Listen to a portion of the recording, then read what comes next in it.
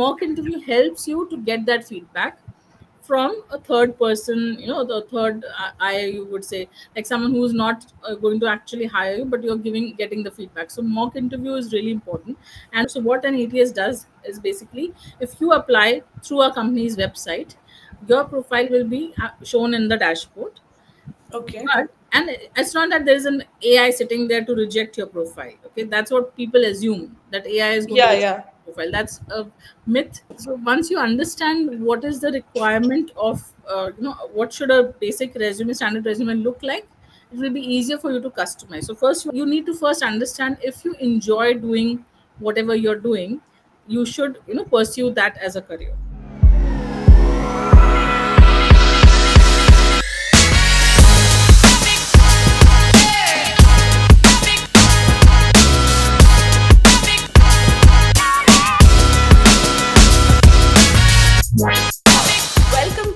another exciting episode of Wooble Nexus mini podcast. I'm Arpita Gupta, thrilled to be your host today, and we have got a captivating topic lined up for discussion. Joining us is a remarkable guest from the industry, Karishma Dandona Sethi, bringing with her a wealth of experience and expertise. Our conversation will delve into navigating your career path, insights from a LinkedIn top voice. Prepare for an insightful exploration of career strategies and expert advice to help you chart your professional journey effectively. Hello, Karishma ma'am. A warm welcome to Wooble Nexus. We are absolutely thrilled to have you join as our esteemed guest. Your impressive background and achievement, particularly as a LinkedIn top voice, underscore your expertise and influence in the realm of career development. Your presence adds an exciting dimension to our podcast, and we eagerly anticipate the valuable insight and guidance you will share with our audience. Let's kick off this enriching conversation and embark on a journey of learning and growth together on Wooble Nexus. Thank you so much, Arpita, for the warm welcome. I'm really excited to be here. And I'm really open and excited to ans- answer any of your questions that you may have. Thank you so much, ma'am. So let's start with a quick icebreaker. If you could teleport anywhere in the world right now, where would you go? Oh, wow. That's a great question. Um, so I've always been, uh, you know, someone who would, has uh, loved snow, I would say. So uh, my favorite Okay. place has been Switzerland. So yeah, that, I think if I would have to teleport, uh, I would go to Switzerland. That's my favorite Um, destination. amazing. Ma'am, if you could time travel, where would you go to the past or the future? Why? again, you have all good questions, Arpita. So this is again a very great question. Uh, I've always been intrigued with uh, history, uh, especially Okay. uh, you know because my uh, I have a lot of discussions with my husband because he is kind of almost we have a generation gap, so he comes uh, from. Uh, that background where we he was uh, you know in the 80s 70s 60s how that uh, how india was bef- after the independence that era i'm Oh, not wow, talking about amazing. so i would always love to go in the past during that time because my ancestors also like my grandfather have been through that uh, you know partition phase and also i always hear Okay. these stories so i would love to be in the past i know it sound it may sound weird but i would love to be uh, go back to the past and see how uh, you know what what was india like just after independence so that that is always intriguing so i would love to go in the past yeah Amazing. So, ma'am, if you could have three wishes granted right now, what would you wish for? Oh, wow. Good health, first of all, yes. Uh, good health, Okay. that is really important because I have two very young kids. Um, I would uh, really want uh, to be more, uh, to be someone who ha- can create an impact. So that is one, my second wish. Uh, good health is, of course, going to be first. And of course, the third would be good money. so, uh, money, who doesn't want money, right? So, yes, Yeah. these are the three things I would love to. I wish all your wishes do comes true very soon. Thank you so much. If you could create a personal mantra for yourself, what it would be? Okay, yes. Uh, I need a lot of personal mantras. Uh, so I think uh, to stay uh, right now, I'm in this phase where I need to focus on my health because I think sometimes I work a lot. So I'm kind of neglecting my health. So my personal mantra would be to uh, focus on health and uh, you know give that as much priority as I do to my work. So because I'm a workaholic, so I think I sometimes neglect work. So my uh, f- focus on your health. Uh, that is uh, health is wealth. That's the mantra I would say. Yeah, right true. Yeah. Okay, so ma'am, can you tell us about your journey from being a recruitment specialist to becoming a LinkedIn top voice and career coach? What motivated this transition? Okay. Wow. Like this is going to be an interesting story because I've always uh, been in the recruitment industry. And when I uh, was in the industry, I th- thought that was a noble profession because I was empowering people. I was giving an opportunity to people, job seekers. I was get, giving them new jobs. People who were unemployed, I was helping them get uh, get job opportunities. But what transition is when, when I actually lost my job during the pandemic Okay. so i myself lost my job and i was at home for three months. Uh, when i was at home uh, i wanted to do something. I could like i said i'm a workaholic. I could not sit at home. I wanted to do something. I was just looking online what what can i do next? I tried i mean i could i do something else? Maybe i'm good at marketing. What else? But i i mean nothing worked out initially. So i really understand i mean i was really anxious at that particular moment. And Okay. um, then then i got an opportunity to work as a resume writer as a freelance resume writer right so um, i mean that was just by chance i got an opportunity and my first income after a gap of 3 to 4 months was uh, 400 rupees to write a resume right Just after COVID. just after COVID, like when people had started hiring remotely, right? Uh, Okay. But of course, I got a job after that as well. But that first, uh, that resume writing experience of getting something on my own, doing something different, kind of excited me, and that's how I transitioned slowly from write. I started writing resumes, then I started writing LinkedIn optimize uh, uh, profiles, and I optimized my own profile. I worked really hard on writing on LinkedIn, and slowly I got into coaching, and I've got so many opportunities as you must have you must be aware you've seen my profile so that really inspired me that you know some doing something different doing something where i can actually you know do something of call call it of my own. It's not that recruitment was not but of course i was always working for someone else. Here i was actually working for myself. And also like i said this is, was the second way of helping people creating that impact and i also consider this as a noble profession because here i empower students freshers to you know uh, build their own brand or you know get get a job of their, their dreams. So that really is was the motivating factor. Like in any job i think what is important is what are you adding any value? If yes True, true. that is the best job for you you know? So that was the motivating factor and you know making that impact Ma'am, it's inspiring to hear about your journey and your dedication to helping others in their career. thank you so much dear Ma'am, what are the key components of personal branding and how is that important? How can individual effectively showcase their skills and experience? Okay, yes. Personal branding, in fact, is very important these days. And that's why when I coach these students, I focus, I make sure that they focus on their own personal brand. And I think the key components here would be to show your you know own uh, mindset, like what is your expertise, what is your uh, you know what is your experience taught you.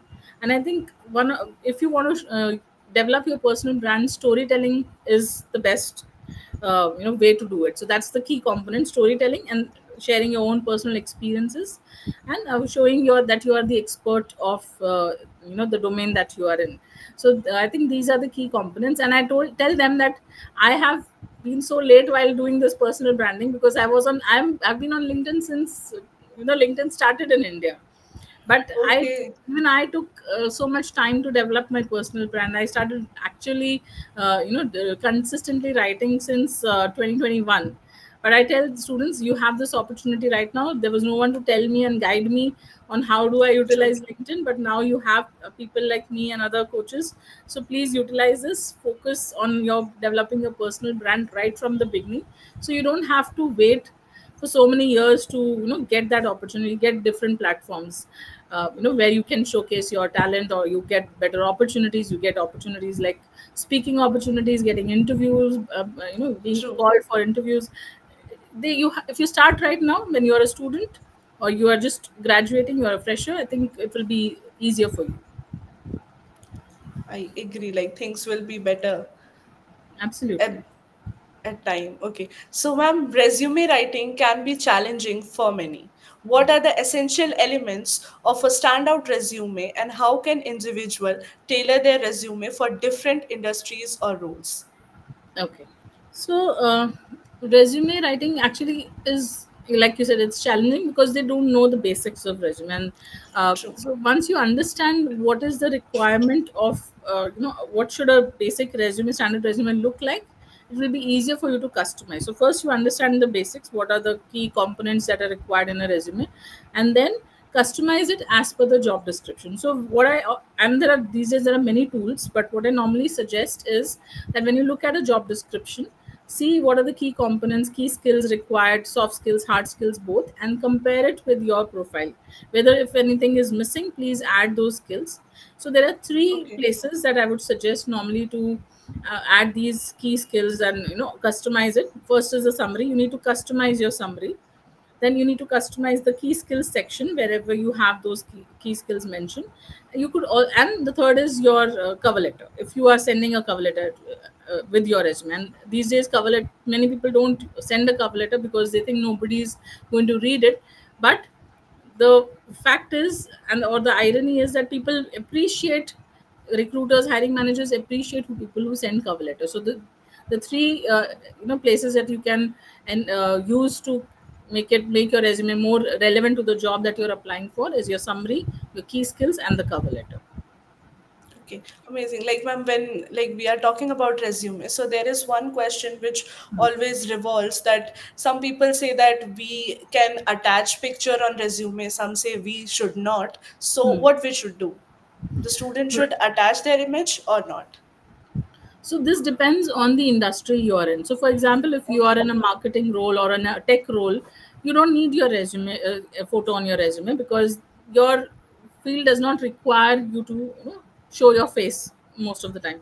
Where the uh, photo is required is if you are in a hospitality industry, you are in a you are applying for a role where you are in, like an air hostess role or a hospitality management role executive assistant where you need to show your face a lot to the, either to the client or to the customers that is the industry where a photo is really important because if i'm hiring a person who is like a front office manager let's assume i would really want to see how that person looks because that's the per- person uh, who's going to meet my customers on a daily basis right? So that True. you need to have a pleasing personality for an air hostess role that's it's uh, the same that applies. Uh, any any role where you are actually dealing with the customers directly maybe a car salesman you know i hope you get my point. So that is where Yeah, your yeah. photo is important. Other than that i don't think it is important to show your you know uh, attach your pho- photo on the resume Okay. So, ma'am, when we are talking about resume, like people say that make your resume ATS friendly. Hmm. So, what uh, other things we should do to make our resume ATS friendly? okay now this ats friendly thing or ats the, the, many of the resume writers have made this as a uh, really big you know uh, Actually, clause that okay or your resume is not ats friendly no an ats is nothing but an applicant tracking system which okay. helps companies to streamline their hiring process. I have used an ats before. So what an ats does is basically if you apply through a company's website your profile will be uh, shown in the dashboard. Okay. but and it's not that there's an ai sitting there to reject your profile okay? That's what people assume that ai is going to Yeah, reject yeah. your profile. That's a myth. The people are just uh, it's a, like wrong information they're just spreading out so that more resume writers get uh, the job uh, get uh, you know get uh, so that you, people come to me okay karishma can you make my you know profile uh, ats friendly? And i actually i take of course take the client but i would also tell that there's nothing as an ats uh, you know will reject your profile. What happens is when your profile does not show up in the inbox or the dashboard of the recruiter is the if your resume is heavily formatted like you have infographics you have tables you have all uh, you know all the sorts of you know icons meant on your profile and it is not in the right structure that is when your data is not actually parsed into the system into the dashboard and hence it is not visible. It's still that you're application is there. It's just that it is not visible to me and then i might have to as a recruiter i might have to download your profile and then look look at it properly right? And people especially who use canva uh, to write their resume because canva has beautiful templates right? So Yeah. uh, they, they use canva to write the resume. So that's when the problem is. I when i started even i used to write on canva.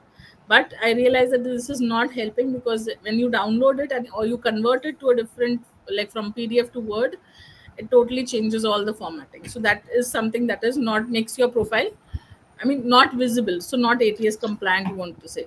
And the structure is also important uh, arpita. So you have to have a proper structure. Though i recommend not using two column uh, you know re- uh, resumes. Like there's you know one half of your information is on one column half is on the other. I do, uh, I strictly avoid those kind of uh, formats because that again will not capture the data properly because like ats is like one single straight form you know it captures the data on that uh, in the same format so that's the uh, that's the reality basically that so there's no uh, ats or ai sitting there to reject your profile And ma'am, can you say the standard format? Like it should be starting with a summary and then education and personal experience, how it should be written. Correct. So, you on the top, top you start with your name and your Okay. contact information because that's the first Okay. data they'll capture. Summary, key skills is the second next section. Then you have in case you have any achievements, anything you want to highlight, any awards and all, you can add the achievements. Then your work experience, whatever it might be, if it's a internship or a full-time experience, you mention all the experiences in the reverse chronological order and then Okay. at the bottom you have your education in case you have any additional certifications then put the certification on top and then your education at the bottom So education comes at the last of the resume. yes yes Amazing, amazing, ma'am. Like this is a great insight on resume writing. This is definitely going to help our audience. sure Ma'am, sure preparation is crucial for job seekers. What are the some common mistakes candidates make during interviews, and how can they prepare effectively to ace their interviews? okay and i think the common mistake that most of the interview I mean, the candidates uh, uh, go through is that they have this fear in their mind right there's a fear of the unknown people say that they get scared whether they'll not be able to answer they'll not be able to you know uh, say the right things at the right moment uh, they'll freeze all of that that's a fear so that and because of that fear they actually make those mistakes otherwise even if they know what they're talking about they'll still not be able to answer it so the first Yeah. key is to prepare get yourself ready and uh, when uh, the second thing that I've also noticed is that they don't ask the right questions at the end of the interview. They just ask about basic general th- things like, uh, you know, can you tell me about the team size? Tell can you tell me the days, working days? These are not the questions to be asked in the interview. These are pre-interview questions you need to ask either the recruiter or research by yourself so that is also that creates a very wrong impression when you are interviewing uh, you know in, to, with the hiring manager or even or uh, the recruiter so these i think these are the things and also like they just don't take it as a conversation they take it more as a rapid fire question so that that's where they get all very nervous. Uh, also True. i've seen many good candidates not able to articulate their experience and uh, you know position themselves as the right candidate. So what i this is what i actually also do in the coaching sessions where i actually teach them how to uh, position yourself as the right candidate for that particular job so there are key words that are really important for you to understand from the job description from your research and then say those words in the interview so that makes you feel i mean makes the interviewer feel that yes she's the right candidate or he's the right candidate Okay. for the job That words grabs the attention. exactly so first I, I, also first mistake is lack of preparation because you're not actually preparing. You're just preparing for the interview of what you're going to say but you're not preparing for what they want to hear from you.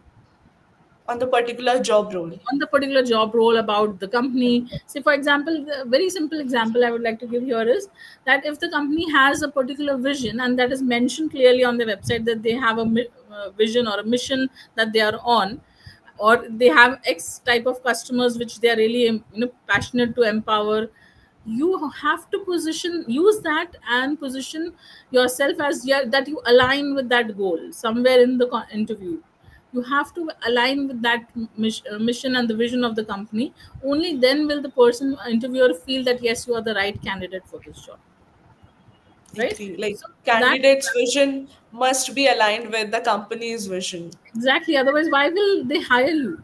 They are looking to hire you. Even if you're a fresher there has to be some value addition you can do. Like maybe it could be your willingness to learn. Maybe it could be your uh, you know your adaptability that you can you know you can adapt in a while or you can work harder you can work under pressure whatever I see this problem because most of the people whom I coach are, uh, you know, freshers.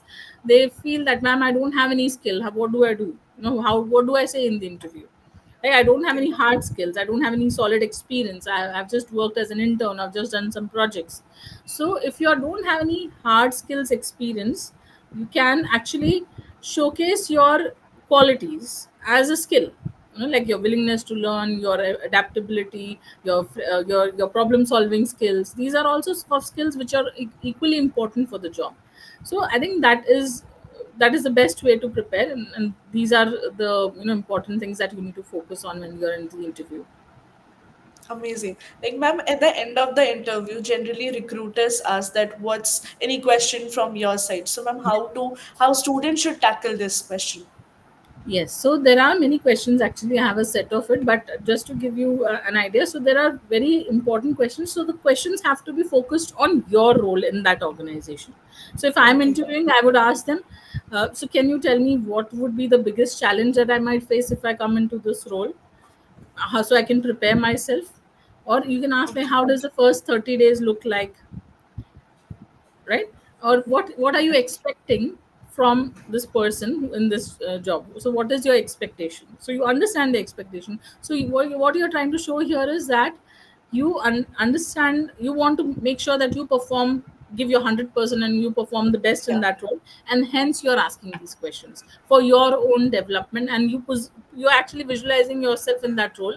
And hence you want to know how best you can perform in that in that job. So that gives a very good impression in front of the interviewer Amazing insights. Um, like, ma'am, could you share some insight on importance of soft skill in career advancement and how can individual develop and demonstrate these skills effectively? okay soft skills okay soft skills are really crucial and i think we all use those soft skills uh, in our day-to-day life one is uh, your interpersonal skills how are you able to interact with the person right these are the this is the basic basics i would say. This is the foundation. Everyone needs to have the, these skills. Second would be your teamwork. And the, there are many behavioral interview questions that you will uh, come across in the interview around teamwork.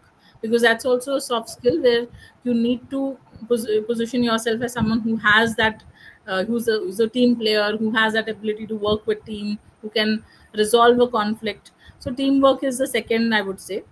Uh, the third, I would again be more, uh, I would say, focus on problem solving because even whatever role you are in, tech, non-tech, problem solving is a very critical uh, soft skill that you everyone needs to have. Okay, like whenever there's a problem uh, you face in the organization, how do you handle? How do you react to that situation? Agree. do you get panicked do you you know or do you actually think about a solution come up with the proper you know proper solution and what uh, what which gives you the right outcome so these are the three skills which are really important and you can have, you have to showcase it through your answers so these are so th- these would come as behavioral interview questions where you will be asked some say for example so tell me about a time you had a problem while you were working at you know on a project or a, in your job. How did you overcome it? So that's the question where they are uh, analyzing your problem solving skills, and you need Yeah. to answer it in the STAR method and uh, give uh, you know share your experience, and then that will give them the idea about how, are are you really good in problem solving or not. Amazing. Ma'am, what are some practical tips for optimizing a LinkedIn profile to attract recruiters and potential employers, especially for recent graduate and early career professionals? Okay. So first is of course you need to have a good profile picture that's a good headshot. Okay. okay. Yeah. so i've seen many uh, students also they have a good uh, image with the uh, coat and all. They're wearing that you know college coats that uh, the, the, the you know college gives them or but the background is either they are standing on, uh, in a garden or on, against a wall. So no there has to be a plain background. So your face is proper visible properly. It's not it should be not it should not be a long shot or a group photo or a selfie those are big no no so you need to have a good profile picture because that shows your uh, you know your facial features are uh, you know important and people can look at your profile and understand you a little better. Now apart from that i think mentioning your experiences are, are really important experience section. Uh, any certification that you have done apart from your college and all please add that. Um, Okay. I would I would always suggest uh, to utilize the featured section in the LinkedIn profile. So there's a featured section where Yeah. you, you can showcase your achievements. You can show off a little bit. I call it the show off section. So you show off all your certifications, anything that you have done extraordinary, any project that you worked on. You can include that, and that will be a good platform for students and freshers to showcase what they have done. Because biggest challenge of freshers is that they don't have any any experience so any certification also you have done any where you have done some kind of uh, project please add that and that will give a big, good platform for uh, you know people who are coming landing on your profile they can see it and they can you know get a good clarity about your experience Okay. So I think with this, our audience are going to manage their LinkedIn nicely. i, I hope so too Ma'am, how do you approach mock interviews and what benefits do they offer for job seekers? Can you share some common areas of improvement you often observe during mock interviews? Okay. so I think to prepare anyone for an interview, because I'm an interview preparation coach as well, or interview coach, as you may Yeah. call it, um, the best way to you know uh, be prepared for an interview is to mock interview. So I very strongly believe on in mock interviews, and the uh, what benefits mock interview give you is that it gives you a feedback. Because when you give an interview in, an, in the real world nobody's going to give you the actual Uh, feedback. they they wouldn't get the feedbacks. yeah. So they will either say you're selected or you're rejected right? Yeah. these, these are the only two things. They might sometimes say no your experience does not match. You're not you know expectation is high whatever. These are actually not very generic reasons. But the actual feedback is not given to the person to the candidate. Um, I, i've also been guilty of that because many times we don't get the right feedback so we don't cannot actually pass on the right, feedback to the candidates. But a mock interview helps you to get that feedback from a third person you know the third eye you would say like someone who's not uh, going to actually hire you but you're giving getting the feedback. So mock interview is really important. And the best way again to prepare is to first is of course do the research. Be ready with so in my what i do in my sessions is i ask give them a proper framework for how to answer tell me about yourself the star method body language and other things. And then i see and i gauge them on those parameters. Once i get those uh, pa- parameters i give them a detailed feedback verbal as well as written that gives them an idea on what are the areas that you have to work on and then you work on that feedback and you do on another mock interview. So that's how a mock interview will help you prepare because that feedback is actually the most important key here. I Agree. nobody is going to give you the feedback that okay you did uh, you know how you answered the question what was it was how was your hand movement how was your body language right? So these are really important elements. And to prepare for this is of course you need to first understand uh, the basics of uh, how to answer those questions and then prepare yourself accordingly and work on the feedback. Many times people just listen to the feedback. They don't actually want to uh, work on it. But i don't uh, i would highly recommend that whatever feedback you get from anywhere especially in those 0 to 5 years uh, experience if you fit into that role you need to work on it and then only then you will be able to you know succeed in that. And the best way to prepare for an interview is to practice it. So mock interview can also come across as a practice mode for you. Like it's like it's a practice for you. Like you, you're practicing as much as you can and you give the interview. I agree, ma'am. Like mock interviews can be incredibly beneficial for refining interview skills. And more the advice and feedback you will get, the students can make it more correctly and prepare for the final interview. yes Ma'am, career directions and growth can sometimes be daunting. What advice do you have for individual who feel stuck or unsure about their career path? Okay. Now, career clarity, of course, honestly, if I tell you that I am also a victim of it because I, I also have no, uh, I did not have a career clarity when I started my career. So I've graduated from bachelor's in mass media. Okay, I specialized into advertising, but my first job was into recruitment, right? So yeah so i probably am the wrong person to give you this advice but still i'll tell what i would like to share is that um, earlier of course we did not have that kind of uh, platform of career counseling I mean sure there were you know career counselors there. But yeah. we did not have access or you know our families did not believe in all of that. You know that was the case uh, as you know. But these days i think parents are more open to get you know uh, get the career students counseled in terms of the, what career they should pick up. And students also are more aware. So the first thing you need to do and i also to strongly believe is that you need to understand what do you enjoy doing every day. Like you have to test out few things. Like you know you do things like for me for my example i would say i love talking and i love talking to people. So i chose Okay. recruitment because i got an opportunity to speak to people every day understand them understand this you know mindsets. So that was kind of really exciting for me because i enjoyed doing it. So when when it comes to and i'm giving a very non-scientific non-scientific way of you know choosing this because i'm like i said i'm not an expert in that domain. But you need to first understand if you enjoy doing whatever you're doing you should you know pursue that as a career. And also like you get paid for so there's a concept called ikigai. I'm sure you're aware of it. Yeah, yeah.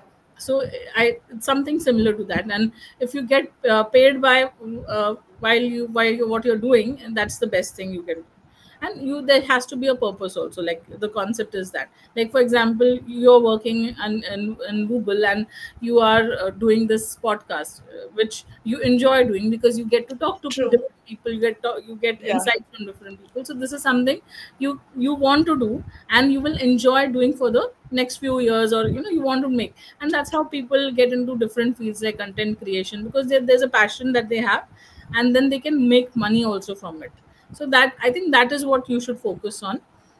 Be it any role it doesn't matter.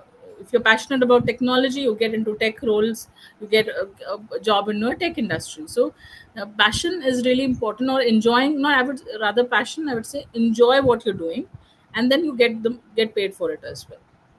So Amazing. That's I a very non-scientific way of giving giving career clarity. I absolutely agree. Like enjoy the work what you're doing.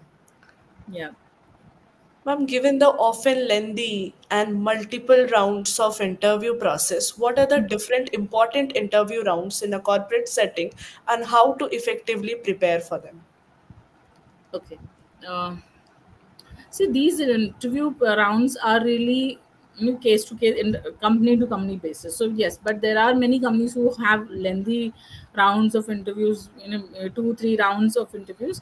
So Yeah, the i- idea is not to get stressed out in this process. Okay, many people, many candidates have come across in my 18 years that they get when will when will the next round happen? They continuously pester and you know uh, ask the recruiter, ask me like you know when is the next round happening so there are you know we need to understand this is the reality that people who are interviewing also are working and they are working professionals they're working on something else so they might not be available so hence the interview process sometimes tends to be long so first thing is not to get you know uh, worried about it or not to get stressed about it. The, the anxiety level has to uh, go down. It should not you should not be anxious basically.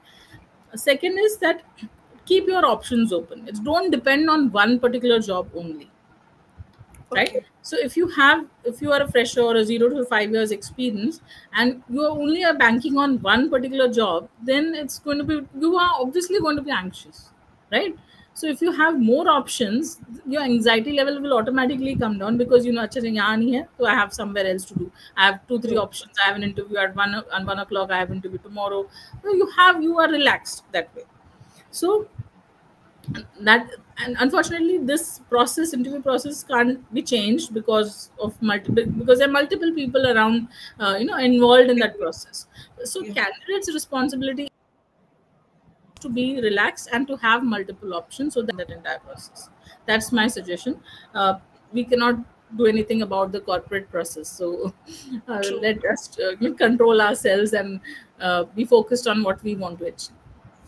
So, ma'am, when we are talking about interview rounds, I agree that each company has different rounds of interview, but there are some common rounds which are fake, like HR round, technical rounds, group discussion. So, what are the tips and tricks you would like to give to the students and audience to like crack each of the round? Okay, so let's start with HR round. People Okay. think HR round is the very simple or basic round, right? Yeah. But HR is actually a very, uh, very important role here because they are like the gatekeepers. True. They will not let you in unless you actually fit the bill, or there is a high chance of you. There's like 80% match, or they feel that conviction, yes, this is the right candidate. Because if they let the wrong candidate inside, it's you know it's a matter of their job because they are the ones who are actually responsible for picking out or spotting the talent. So um, you have to be very careful in the hr round as well. So make sure that you are you know you are again positioning yourself as the right candidate throughout many uh, throughout the entire uh, experience you have to make sh- the hr also feel that yes you are the right candidate they, you may come across as uh, you know them as okay no there's she's just the hr no this is a very b- big mistake that you know many candidates do that HR को ऐसे ही समझ लेते हैं and this reminds me actually of an experience where I uh, was uh, hiring for a particular company and this candidate I I spoke to that candidate he gave the interview and he was very rude to me from the beginning from the call. He was very rude to me. But I did not mind it. I just let him do the entire process and he got the job. He got the offer. And then he's calling me and saying karishma i'm really sorry. I was really rude to you in the beginning. Thank you so much for giving me uh, you know showing me this opportunity. So it's like i mean of course it's not something to be bad but there are candidates who don't think of hr as the right you know that they're just an hr and there are many memes also uh, going around these days. So uh, but hr is really important because they actually spot the talent and they only tell you tell the hiring manager yes interview this person this is the guy. And there are multiple people but they are the right they are the gatekeepers like i said. So you have to make sure that you treat them well and you also make sure that you uh, deal with them in a very diplomatic way. Agree. so they will ask you questions about yourself. They will ask you salary expectation. You need to make sure that you uh, ask them what is the sal- what is the salary that the companies are offering and all. And then you be very tactful with them. And at the same time very polite and dip- diplomatic. So diplomacy is the key here to deal with Okay. the hr second uh, you said is uh, t- the group Technical. discussion. Technical Yeah. okay so technical round i would say so i've not experienced so i've never taken a technical round but i've always i've seen some technical interviews per se uh, but uh, so here i think the focus is mostly on your knowledge and experience. If it's a technical round when you say uh, how do you uh, answer those questions? Any field it might be. So here you have to give real world examples. If it's let's assume it's a digital marketing executive position so you give real world examples whatever your knowledge you have what is the uh, you know what is the experience past experience that you have prepare on all, all those questions. You know what could they ask? Research on the common questions or uh, see any uh, go on to the Glassdoor go on to uh, AmbitionBox. These are the websites where they share what are the past interview questions that have been asked for those positions. See if you know if it is matching and you can prepare on those questions. That so research is really important in the technical round because there your knowledge and your past experience will be gauged. So you, the best way to handle those questions is to research, research and prepare. Okay, Here, The research is the secret weapon. research is really and, and honestly in my uh, sessions also when i when we uh, work when i work with individuals when i work with students if you are not ready and if, why do you want to get into a job uh, you know without doing any research and then regret it later? It's going to only show um, as a bad uh, you know experience on your resume rather than uh, so to avoid it better you research about the company go make sure that you are getting into the right organization i remember earlier when i was working i just joined one company without research and early when i'm talking when i was just into recruitment i joined the company i went there uh, I worked exactly for five days and I left the company. I just left. I, I just did not go back to the company because the work culture was so bad. The environment was so bad. You know, of course, there's something that you can't actually gauge at that particular time. And I'm talking about six or seven i don't uh, remember exactly. I think uh, seven yeah. So uh, you don't i mean that time we did not have those these kind of you know Glassdoors and AmbitionBox to research about the company. There wahan to kabhi uth whatever you know company you are there you you can take it up. But now you have the option. So research make use of it research prepare and then you will be able to get the project uh, get the interview. The third one you said is group discussion. Group discussion so group discussion rounds are basically just to see your how you know your creativity your spontaneity. How can you, you know how you, what how can you speak spontaneously on on a particular topic right? And if you are able to convince the person you know group discussion one person is against and one person is yeah. uh, for that. So those are the skills that are gauged. So for that again you need to be a little bit more vocal practice speaking uh, see what are the common topics these days you know, those are the group, which could be a group discussion topic like recently i was doing a uh, uh, you know five day workshop and where i had given actually speaking topics to each of the students right so of course i was going through you know i've, I've gone through different sites and i've I picked out some uh, uh, uh, topics where I was uh, I gave. These are very common topics they can speak on. So, for example, should children be allowed uh, using phones or not? These are common topics. So that's something that you, uh, you need to use your common sense also and think about that topic and you know be spontaneous about it. So th- there you will have to actually be more well versed with uh, the what's happening in the world. So the, that's again like again it boils down to research to be prepared that is important And and they can practice around it. Practice around it. And uh, the skill that they're looking at is how well you can speak and how well you can uh, what are the things that within a time limit if it's a time limit thing within two minutes or five minutes what all you can come up with uh, points you can come up with. So it's basically it's also thinking gauging your spontaneity your creativity your you know your uh, knowledge about that subject. Amazing. Like I think these are like HR tips and technical and GD tips are definitely going to help the audience. And they are going to research more and practice to be perfectly fit for the interview. Um, could you please share a personal experience where your mentorship played a pivotal role in navigating a challenging career decision or opportunity, and how did your guidance influence their path? okay. Okay so there are many actually. So um, I would like to tell you about my first client. Okay, Okay, a he was a very senior professional. So okay, after while I just started writing resumes, LinkedIn profile, I got a uh, you know message on LinkedIn uh, from a very senior person, and he uh, said that I would love to you know, uh, have a call with you. So I said okay. I booked him a free call, and uh, where he mentioned that he would like to go through the entire interview preparation. I said you're an experienced okay, person. You have 25 years of experience. You have worked with all top notch companies like nestle uh, your uh, Bha- bharti at uh, three four vodafone all of these top notch companies. He had worked with all top companies plus 25 years of experience. So why do you need coaching from me? And i'm just starting out. So he said um, he said i've always uh, uh, whichever companies i've worked with i've always been referred to in that organization. I've never given a form formal interview. Now after 25 years i'm actually going out in the job market. I'm actually going to search for jobs on my own and i'm going to apply and going to go through the process. So i have no clue about the process. So i was really shocked and i said okay i can do it. So and uh, le- let me tell you he was my first client. I had never coached anyone before that. Oh wow. Yeah so that was a first hand experience for me as well. So i was uh, you know i was ready okay let me prepare. I told him that this will be the charges and all that. He said okay i don't mind. I don't know what happened. He was really impressed with my experience or what i don't know. He thought i'm an hr so i can coach him. So I prepared everything. I prepared my you know PPT and also what I will talk about and what will I tell him.